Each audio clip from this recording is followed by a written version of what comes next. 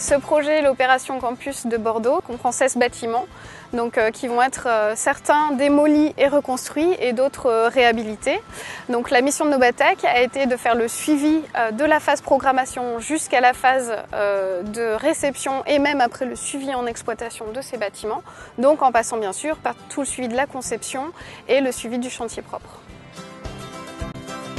On a eu euh, plusieurs propositions des, différents groupements et c'est un groupement qui a proposé une proposition très innovante, donc avec ces fameuses façades bioclimatiques qui vont être installées sur 7 bâtiments parmi les 16. Au lieu d'avoir une isolation classique euh, rapportée donc intérieure ou extérieure, ici on est plutôt sur la logique de traitement par l'extérieur de la façade, mais au lieu d'avoir un isolant, en fait c'est euh, le vide d'air, l'espace tampon qui est laissé entre la façade initiale et la façade bioclimatique, donc cette paroi vitrée, qui va jouer le rôle en fait euh, d'épaisseur isolante. Et ensuite, ce qui est intéressant, c'est qu'avec ces ventelles en bas et en haut, on peut complètement maîtriser l'atmosphère qu'il y a dans cet euh, espace tampon. Et donc le laisser chauffer en hiver, hein, comme le principe de serre, ou alors le ventiler complètement pour rafraîchir en été.